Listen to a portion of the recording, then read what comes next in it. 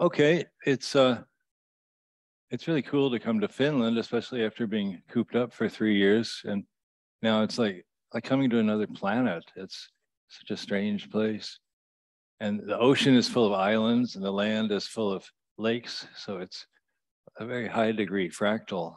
It, it, it's uh, anyway. Today I'm going to be talking about uh, well, there's three things that I do. I'm a mathematician. I'm a a, a novelist, and I've been a painter for about 20 years now. And so I'm going to try to blend those three things together today. And uh, let's see. Uh, where's the clicker? Is this it? Yeah, that's it.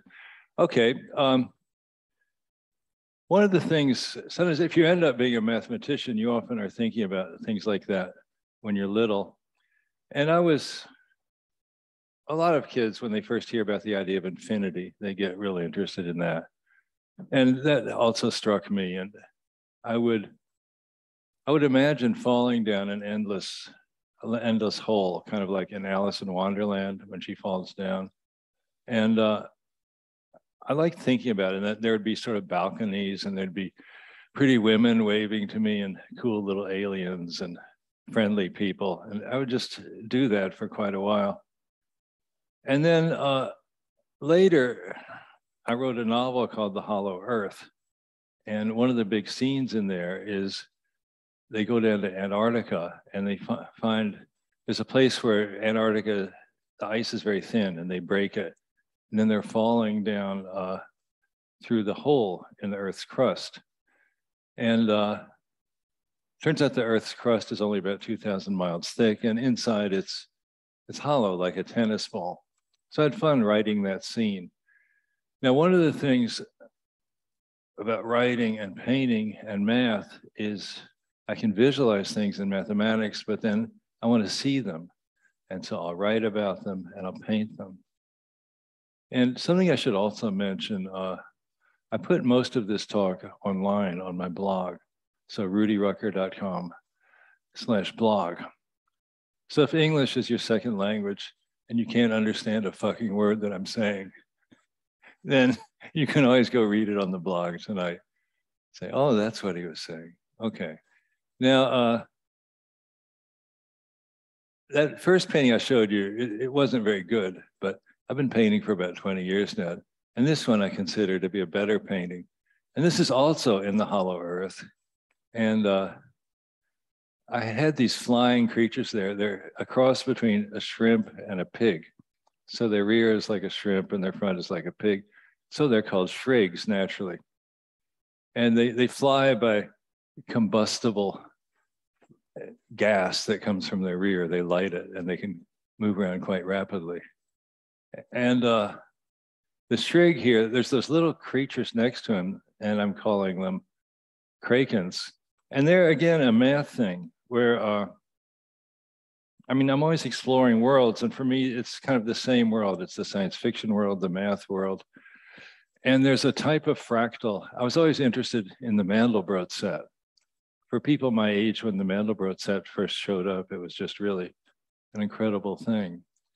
And then you can get to higher order Mandelbrot sets, uh, cubic ones, which, in my opinion, it's really not enough attention was ever paid to those higher order ones. And I, I found one that's called the Rudy set. And it's a, you can look that up. And it's a combination of a infinitely many cubic Mandelbrot sets. And this cute little pattern there, it's a, it's a very cute little thing like a Mandelbrot set, but it's just sort of like a little horsey. And so they're in, uh, I threw them in. Actually, they're not even in the novel, but they made it into this painting. Now, uh, let's see. I'm talking about writing. So people often will say to me, What is it like to write? And this is a, a painting of me some years ago in Lynchburg, Virginia. I had I'd been teaching at Randolph Macon, and they actually they fired me. I didn't get to keep that job, and uh, but then I said, well, I'm just sick of trying to get jobs as a teacher. I'm going to quit. I'm going to be a freelance writer. And you know, I was pulling down about $8,000 a year. So it, it worked for a while. And then I went back to teach at San Jose State, teach computer science. But while I was a freelance writer, I had this little office in an abandoned building. And I had my old IBM Selectric typewriter. This was also old, forgotten technology. If you wanted to do symbols, you could put a different head on the thing and you could have the symbol head. And uh, notice there's a small UFO in there. And uh, I'm wearing a vest as I like to do. And that's me. And, uh, and again, I say writing, one of the things I'm going to be talking to about today is that you can't really plan what you're going to write about. It's more like you get into it and it becomes like a dream, and you're in the dream and you're writing about what you're seeing and you're walking around inside the dream. Now, another aspect of writing that people don't really talk about as much as they should is that, again, I'm going to show you a mathematical proof but what, even in principle, you can't know what you're doing when you're writing. It's the hardest thing you can possibly do if you're doing it right, because you're using your, your entire computational power. And when you're doing that, you can't you can't go beyond that. But you need something else. And I call that the muse. It's you know a very old idea. An artist or writer, the muse comes and helps you. And the muse isn't always there, you know, she might show up or she might not. And you need to sort of have an environment where the muse would feel like coming to visit you. I mean, you need to be working on your project. You can't just be lying around drunk, you know, and you have to be actively trying to write the book or, or do the painting. And uh, and then when you're lucky, the muse will show up and uh, she'll show you what to do. And this is a painting of the muse and uh, this is a spot where we like to go. And uh, we live near Santa Cruz, California now, and this is on the cliffs there. It's a pelican there flying by. Now, I just want to jump back. The first thing I talked about was my childhood thoughts about flying, falling down an endless hole.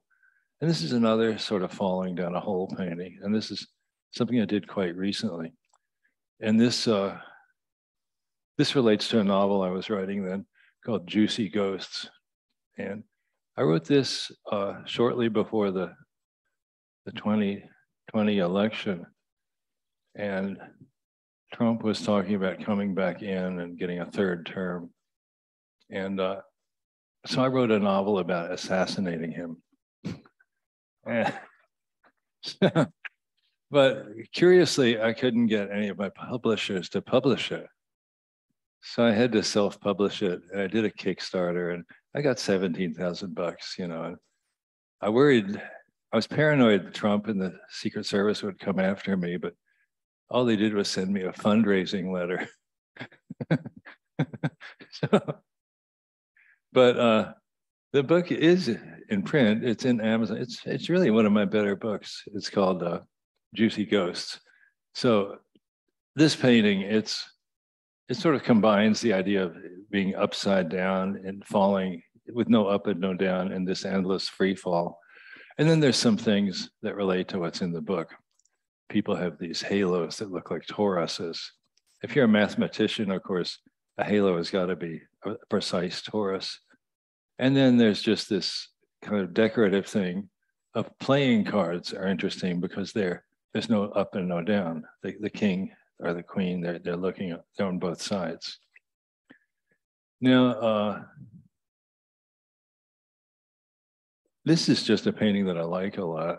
I thought I'd put it in here, but it could, it makes sort of a point. One thing, we could coming back to what is it like to write a novel? What is it like to do a painting? And at first, a kind of superficial thing to say is that well, novels are linear, they have plots, so they're a one dimensional thing. It's a line of events. And a painting is a two dimensional pattern, and you see it all at once. So it looks like there's a difference there. But if you think about it a little more deeply, uh, a novel does have, after you're finished reading it, it's a whole pattern, and you've got this sort of space time thing of all the events that happen, and it becomes sort of like a tapestry, you know, with all the stuff on it painted all around. But uh, this is sort of interesting because there's a nice movement going around. This is a traffic circle in Genoa, Italy. And I like the way the people look. I, have always liked cartoons a lot too, and uh, sort of cool. This is another picture where it's not really just two dimensional, there's a, a direction in it. And this again has to do with infinity, which is one of my lifelong preoccupations, the infinity and the fourth dimension. And I wrote a nonfiction book about each of them. I wrote a book, nonfiction book about infinity called Infinity and the Mind. And I actually wrote two books about the fourth dimension. One of them is just called The Fourth Dimension. And here, the infinity, I'm using a trick that M.C. Escher used. He would find a way to tessellate a finite area by having things get smaller and smaller. And in a way, it's a hyperbolic plane because he's doing uh, making things get smaller and smaller. There's more space in there than you'd expect. And uh, I had this on the, I used this on the cover of one of my books, and then as the, I made a Kindle, and Apple wouldn't use this picture because it had nudity on it. So I had to go and put bikinis on those people. The uh, now what's going on here? Well, this I mentioned uh, the thing about how excited mathematicians were when the Mandelbrot set emerged. It's it's really it's hard to express how thrilled we were because it was you always want there to be something physical that's infinite, and the Mandelbrot is sort of physical. I mean, it's it's an object. Something's physical if you, other various people can go look at it and it's always there and it always looks the same. That's sort of a close definition of something being real. And the interesting thing about it was you could zoom in and keep finding cool new stuff. That's uh, and so that's uh, sort of it's a guy just in awe looking at it. It's in the sky. It's like God, you know. He sees it. now, um, the next one, what is there? Oh yeah, this is another mathematical thing that I got into. After I went to I've spent about, I think, six years as a freelance writer. And as I say, I was selling books. It was a very productive period for me. And my wife was working, she was teaching. And, uh, but we had the three kids, and it was just, there really wasn't enough money coming in with all the things coming up that needed to be done. And so then I went and got a job at San Jose State. And uh, they said, well, if you like, you can teach computer science. Nobody has a degree in it anyway. So this was in 1986. And I said, all right, I'll give that a try. It can't be any harder than Gödel's incompleteness theorem. So, so I started doing that. And I got really interested in, there was this kind of thing called um, cellular automata, which actually you mentioned. I think that paper was a joke, right? That title was it was it serious? I couldn't tell. Well, anyway, the the but cellular automata, uh, they're like if you imagine a screen and imagine that every pixel is a computation and they're in parallel, and it's sort of like reality. Reality, reality does so much because I'm when if you're interested in computer graphics and you start looking like you're taking taking a shower, and you look at the light bouncing off the faucets there and the reflected light and the the, this, the mist It's just such an incredible computation, but the world can do it because it's doing it in parallel. I mean, every bit of the world is keeping up. And cellular automata are computations like that. Now, the best known one of them is John Horton Conway's epic Game of Life, which people are so interested in. But there's another thing you can do that I learned at some point, which you could, instead of having just a bit in every pixel, you can have a real number in there. And then you can have sort of an analog cellular automata. And this is one of those. And uh, actually, Alan Turing investigated some of these uh, at one point in his life. Now, this one, uh, I, I, I built some software for looking at analog cellular automata and if you're interested, you can get it for free on GitHub. But um, I worked at, played with it really for hundreds of hours. You know, that's the thing. If you get into doing things with computers, you'll just just piss away unbelievable amounts of time looking at the screen. But then you find something nice, you know, it's worth it. And so I found this thing and I liked it so much, I printed out a picture of it and then I did a painting of it. Now, it's sort of redeeming it because when you take an analog computation, but you do it with a computer, so it's it's really digital. It's made of pixels. But once you paint it, it's analog again. It's something something I enjoy about painting, which is a nice writing has this quality. Again, it's bit by bit, letter by letter. Uh, computer science, totally digital. But when you paint, it's your palette. It's just messy. You know, there's there's colors, and you're smearing them around and when I first started painting, I imagined, well, I'll study color theory and I'll study the color wheel and balance things out. And then I found that's really not how you think when you're painting. You're just looking at colors and you have a sense of what looks good and you mix things. And it's just sort of all very much intuitive. And that's, that's I like that a lot. And I think the thing in the middle here looks a little bit like a seahorse. So that's nice too. Now, uh, let's see. Now, the thing about analog and digital, it's one of these things that really underlies a lot of the world. And uh, here's we've got an analog woman and a digital man. So it's sort of like the male female difference. He's a funky robot. He's trying to be human, you know, but not quite making it, but he's trying anyway. Let's see. Okay, I've still got plenty of time. Now, um, let's get back to mathematics a little bit. I had fun doing this painting because I always like when you see, well, if you see Arabic written, you know, to me, it's, I can't make any sense of the letters or, or Chinese or Egyptian hieroglyphs. It's cool when you see a script that is completely unintelligible to you. And so here I, I wanted to do some unintelligible scripts, but this is like saucer language. And I've always liked flying saucers. So this is saucer school. So they're, they're learning the saucerology. And uh, one another thing that comes up here, I, I won't go into it too much, but while I was studying infinity, I got I went and got my PhD in set theory. And set theory it was the, the study of different levels of infinity.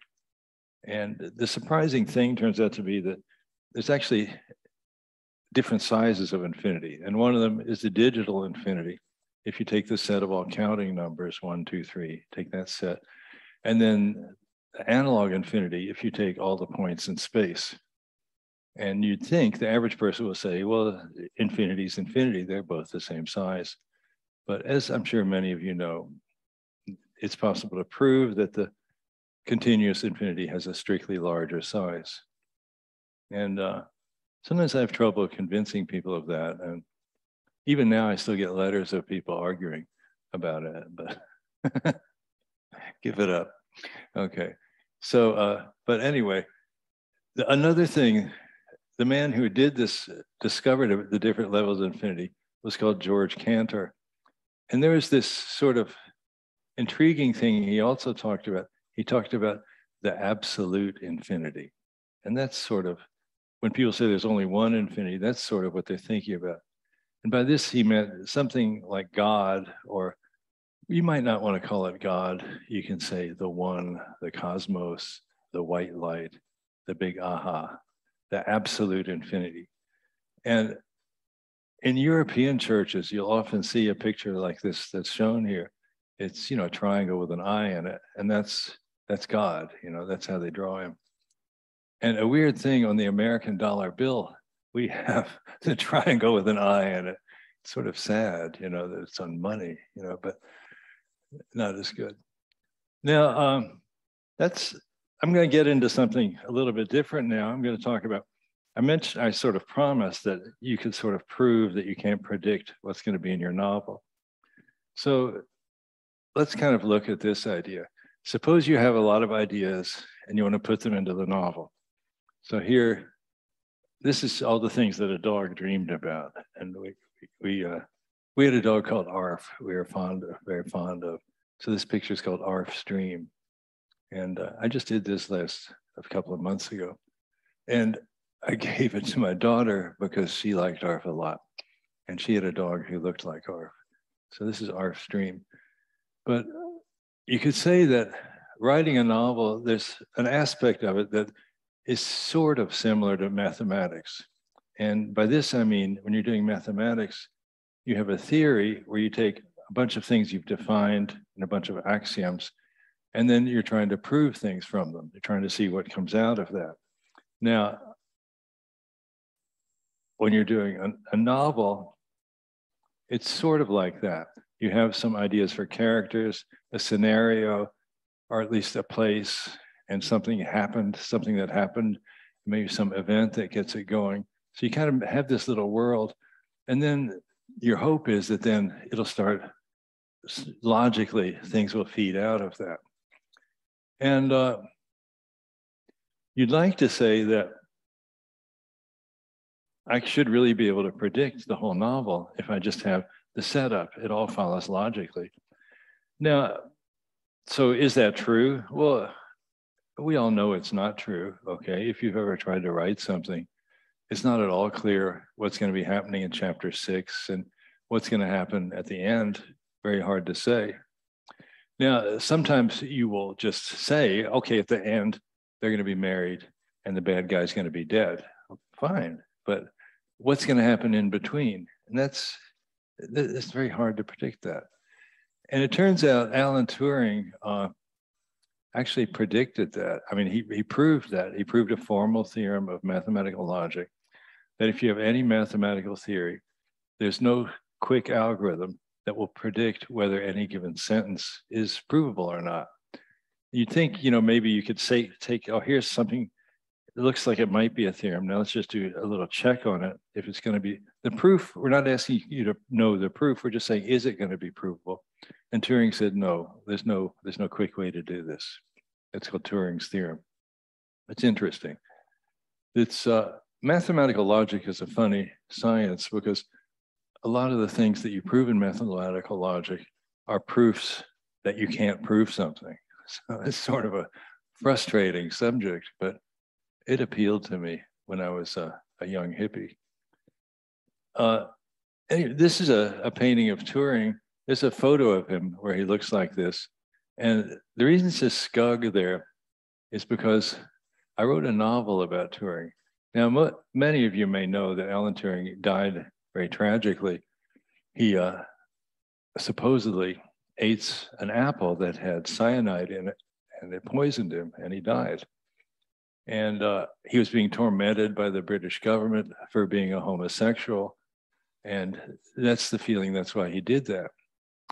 There are people, though, who say that Turing didn't really kill himself. He was killed by the British Secret Service. And, uh, you know, who knows? But what I did in this novel, it's called Turing and Burroughs. I said, well, what if it was the British Secret Service trying to kill Turing, but what if he escaped and they didn't kill him? And the way he escaped was he found a way to grow a copy of his face and glue it to somebody else. and then Turing went off and he went to Tangiers in North Africa. And William Burroughs, the beatnik writer, happened to be there. And so Turing and Burroughs became lovers. And then they found a way to turn themselves into giant slugs which are skugs, and they would, you know, joyously make love with each other and went over to the US and started turning other people into skugs. And that was the novel. And that was another novel that I couldn't get published. So some of my best work, you know. So again, I published it myself and I raised money from with a Kickstarter. And what happens eventually, publisher did pick it up. They said, well, this is a classic now, you know. it, it's not, you know, criminal, it's classic, you know. So um, anyway, now um, I can't remember why I put this picture in here, but uh, I notice in a, I put it into the, the summary of the papers, if you look it up online. And uh, I guess, oh, I remember why I put it in it's because sometimes uh, the thing about a painting, unlike a novel, in a, in a novel, you're sort of expected to wrap things up and explain what happened. Now, in a painting, you don't have to do that because it's just like a flash photograph of something, or it's. I always like paintings where it looks like it's an illustration of a moral or a fable, and nobody knows what the fable is. There's one of my favorite artists is Peter Bruegel, the elder, and there's a few of his paintings that are clearly illustrating some Dutch proverb of the times, but nobody knows anymore what the proverb was. And I just think that's totally cool. And so this is illustrating some unknown proverb. So it's really they're trying to hail hail a UFO for a ride. You know, they they're trying to get over to Aalto University and uh, trying to catch a, catch a taxi. Now, uh, this is another cool picture. And this is, again, the whole thing about the history that goes into a story and the way you try to work it out. This has to do with a, a story I wrote. There's a writer called H.P. Lovecraft, and he wrote a he wrote a, a really great story called uh, "At the Mountains of Madness" about some guys who go to Antarctica and they go down and find these these shafts that go under the ground, these tunnels, and there's these these creatures living down there, and they're going along, and they're finding these old, weird illustrations. Again, I like these, you know, these mysterious, unknown things, and these are like. Uh, uh, what's the word for it? Uh, when you have a whole lot of pictures to illustrate something, it well, like a comic strip, okay, or or and uh, so notice there's something at the corner they need to look out for. It's there's going to be a surprise. Okay, now I, you know, I've lost track of what the hell I'm talking about. These are great pictures, though. But uh, this is a picture when I was cooped up with the. Let me just look up here. We were cooped up for so long with that crazy COVID, and uh, you you don't get to see. It was so hard not getting to see anybody in reality. That's sort of what I was thinking about when I did this. I sort of when I'm writing, what happens if I'm writing a story and it's really going well, or if I'm painting and it's going well, when I go outside, I mean, the muse is coming to see me all the time. And when I go outside, I'll start seeing things that relate to what I'm writing about. And it's like synchronicity, it's sort of magical. And uh, probably all of you are, you're all artists, most of you here. And when the work is going well, things start reminding you, and you start hearing things that relate to you. Hear, keep hearing just the thing you needed to hear. It's like the word is feed, world is feeding you stuff. And we've been trying to do this with Zoom. This is a Zoom picture, obviously, but it's sort of. I find Zoom unsatisfying because when you see people in person, they're giving you a lot of information that they don't give you on Zoom. They're just micro expressions, there's little things, micro pheromones, very subtle things. But I do like the, the sort of regress here where we've got this woman, and see, that's the same as that woman. And then behind her, you're seeing out, you're seeing a mirror, and it's a mirror that's reflecting a window that's open. So there's all these different realities are tied up in there. That's me on the top with my books You can see that. Okay, now there's one more topic I want to hit on. And uh, I know you're starting to want to have lunch, but it's only 11.30, so you're going to have to listen a little bit longer. So uh, the, the idea of chaos is really interesting to me. Now, before I was talking about mathematical logic, proving that you can't prove things. Well, chaos, in a way, it's different, but it's physical. Chaos has to do with the fact that when you look at physical systems, we can't predict what they're going to do. And um, it really isn't like a logical proof, it's just observing. To me, uh, the simplest thing about, if you want to see chaos, the simplest thing to do is sit somewhere where you can look at a tree with a little bit of wind blowing on it and just watch what the leaves are doing and watch what the branches are doing. And if you kind of think about it, they're doing something, they're never repeating you could watch it for 10,000 years and it would never be in exactly the same position. There's just so endlessly many ways that the branches can move around and they never stop and they're not working on it, they're not thinking about it, but they're always different. And that's the thing about chaotic systems. Now, sometimes people say chaos means sensitive dependence on initial conditions. And that's true, but that's not the real key part of chaos. Uh, it's not just if you start something in a different way, it goes somewhere else. It just it doesn't really matter where you started. The main thing about chaos is once something gets going, it moves around. There's something they call the state space of all the possible ways it can be, and it travels all over the state space and uh, in a systematic way. And that's uh, that's something I like very much. I, I like systems like that, and I like using the word gnarly. It's partly because I moved to California, and uh, gnarly, dude. I, I like the idea of things being gnarly, gnarly like a tree root or complicated, intricate, like the waves. Surf is gnarly. So you can say either gnarly or you can say chaotic. Now, um,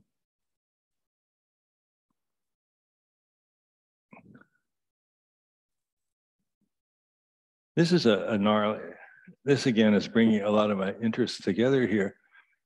The Mandelbrot set, one of the things that's so appealing about it is that it's, it's so chaotic. You know, it's, but again, the thing that makes chaotic systems doubly interesting they're not just random. They're they have patterns, but they're not slavishly doing them.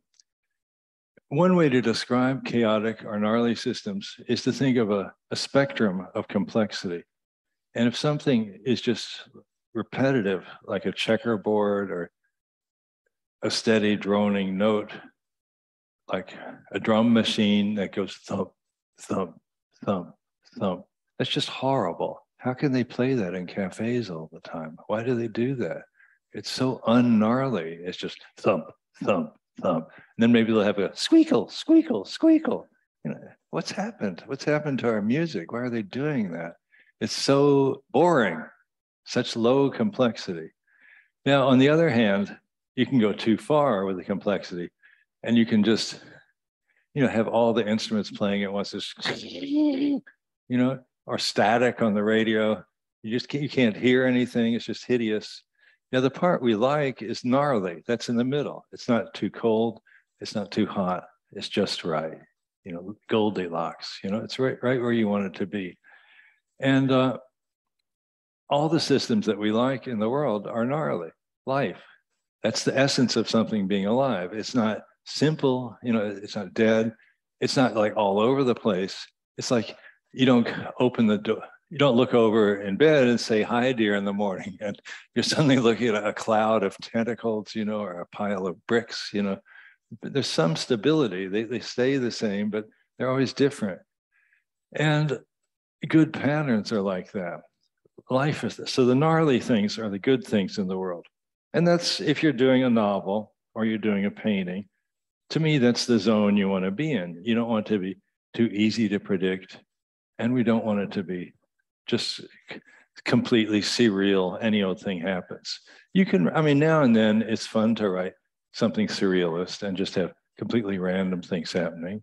And if you're doing a painting it's also it's fun to see surrealism sometimes but at some point you tend to want to see something a little more with a little more pattern to it now here we've got here's the this is one of those cubic Mandelbrot sets I was talking about. And we all know that UFOs like to abduct cows. They're known for that. They come down and pick the cows up in the saucer and they abduct people as well. So this UFO is abducting its cow and it's got a woman there and it's also at the bottom. See that person, that man looking out? That's me. Okay. So this is a self-portrait of the artist abducted by a Mandelbrot UFO. So this is a, and here I love the curves. I love the gnarliness of these mathematical curves. Mathematics is a whole study of what, what kind of curves we can have. Okay, now, um, this is a, another nice gnarly place that I went once uh, in Micronesia. I went scuba diving there with my brother, and there's a lake, a freshwater lake there, where it's there's a billion jellyfish living in this little lake on a rock island there, and you can like go in there and well, here you wouldn't do scuba, you just do snorkeling, and it's just so amazing. This is the kind of thing when I see something this cool, then then I want to write about it because I want to see it somewhere. Uh, it's a way to keep things alive. If something you love, you'll you'll write about it or you'll paint about it because you want to see it again. And I actually then did a painting of it too, obviously. And this is the painting, the, the jellyfish. Um, okay. How large is the lake? Oh, this painting, it's a, uh, most of my paintings is about, the biggest they get is 40 inches by 30 inches. And uh, they're often smaller. The thing is, I live in a, a, house, you know, I'd like to have a studio and do four feet by six feet, but uh, I don't really have the physical setup for doing that. So uh, you can see them all online. If you go to rudyrucker.com slash paintings, you can see all my paintings there. And um, yeah, I would like to do a bigger version of this one. Um, now, something else, I want to say one more thing about chaos, and then I'll quit. Um, I said something about the chaos kind of being predictable, what the patterns does, but the patterns are always different. Now, there's a word, there's a whole science called chaos theory, which is sort of cool. I don't know if you remember the very first uh, Jurassic Park movie, and uh, the guy is in there, Jeff Goldblum, says, I'm a chaotician. That's cool. That guy's cool. He's got it together, you know. So uh, chaos theory, one of the things it talks about is strange attractors. So if you have a chaotic system and there's a certain kind of patterns that it likes to form, those are called the attractors of the system. So in other words, when you go to the beach, you don't see just this un this diverse cloud, this fog of water drops in the middle of the air, just hanging there. You see waves that have certain patterns. And those are the strange attractors of the surf. It likes to form certain kinds of patterns, and this is what you get. So when you're writing, when you're painting, there tends to be certain kinds of patterns that you like to make, and those become, that's your style, okay? That's the mode that you're in. And these are the strange attractors that you're going towards. Now, it's getting close to lunchtime and people are leaving. So I think let's just cut down to the questions now and uh, we'll do questions for a little while. Okay, thanks for having me here.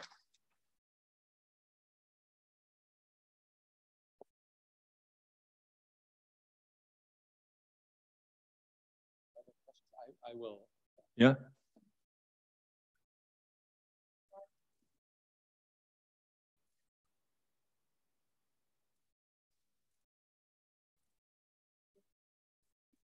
Uh, yeah. Okay. For the sake of our, our folks at home. Right. So the question was, uh, has, has Rudy taken any, any inspiration from the continuum hypothesis with regards to? Uh, yeah, actually, there's actually a section of this paper that I didn't say. You can see it online. But that was, I mentioned that George Cantor proved that the size of this of the space, the continuum, this the set of all points in space is larger than the number of counting numbers. And then a natural question, well, natural for some people, would be to ask, is there anything between? You know, is is that the first infinity that's larger? Is C the first thing after Aleph null? And uh, I've thought about that for really a long time. You know, when I was a younger mathematician, I, you know, I fantasized about solving it and I even got to meet Kurt Gödel, the famous logician, and talk to him about it. And again, mathematical logic, it's sort of a, it likes to jerk the rug out from under you. It's, it showed that we can't solve the continuum hypothesis. We, we can't answer it. And uh, then I said, oh, well, I'm just going to write a novel about it. So then I wrote my novel, White Light. where a guy goes to another world where he's got a C there and Aleph null and Aleph one and uh, all this cool stuff happens. But it's, I was, I still think about the continuum problem though. Yeah. Yeah.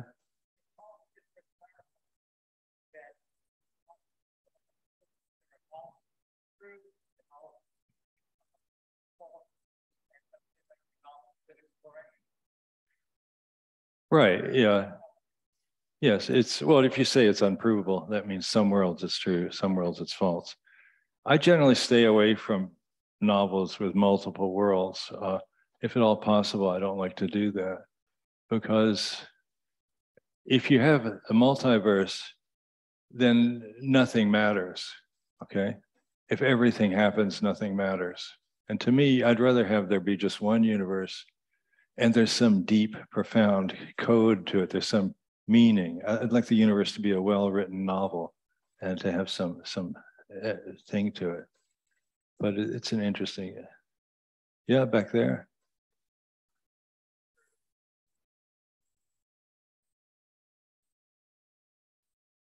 So, so what is the medium of the paintings? Uh, for the first maybe 10 years that I was painting, I used oil.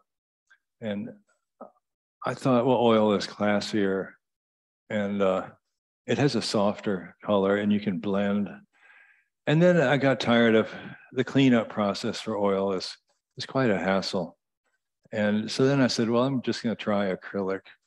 And now I've been doing acrylic for about 10 years. And I like it because it pops really hard. And uh, if you don't like something in acrylic, you can you can paint over it 10 minutes later. It's really fast to revise. And slowly I've been learning ways to there's things you want to do where you want to put a like a screen of color. You want to have like you have something done, you want to put a scrim of color over it, a tint, you know. And it's possible to do that in acrylic, but you have to have some practice to know how to do it. But I could go back to oil anytime.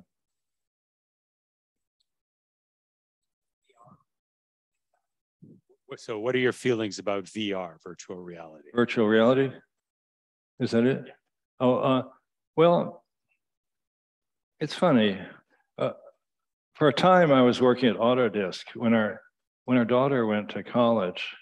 She went to Swarthmore, and uh, the first year she went there, that's when I was a freelance writer, and I was making. My wife and I were making, you know, a very small amount of money. So they said, "Oh, you can practically come for free." And then I went to, got a teaching job in California. And they said, oh, sorry, it's going to be 40,000 a year now. so then uh, I started working at Autodesk, a software company, and they were working on virtual reality. They had something, the Autodesk Cyberspace Project. And it was really exciting. But uh, a lot of things we thought were going to happen didn't happen. What really happened was it turned in the video games are really where virtual reality is at. That, that's that's the main application, and it's huge, billions and billions of dollars. And uh, I haven't actually. I keep thinking well, I really got to get you know one of these new masks and, and start looking at it. But there's uh, I haven't pulled into it that much.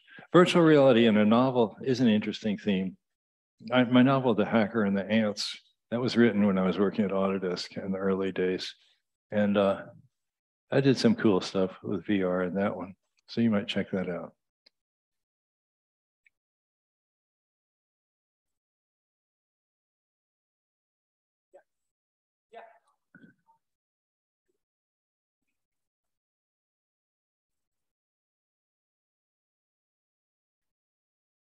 So is is there a reason that you depict yourself as potentially a younger self in your paintings?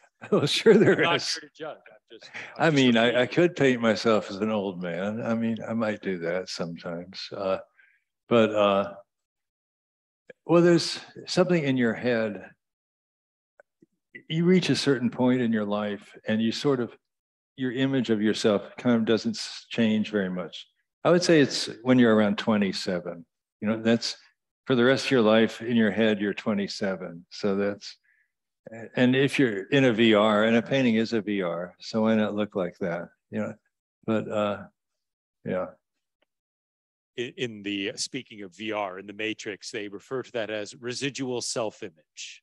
yeah, yeah, the Matrix. So as another classic VR. I shouldn't have brought it.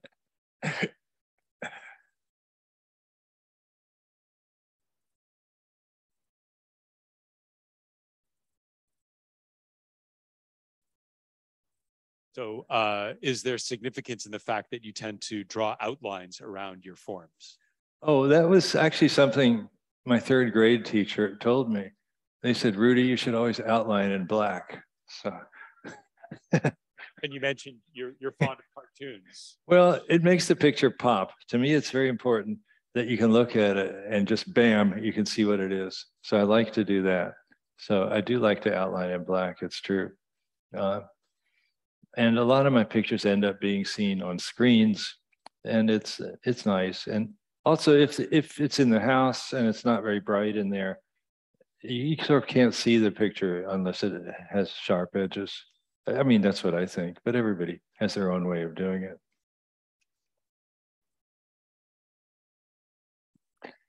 Okay, well, let's go have lunch and thanks Yeah, for so, coming out. Let's thank Rudy for a, a gnarly talk. Radical. Uh, I'll just, I'll wrap things up with just a couple of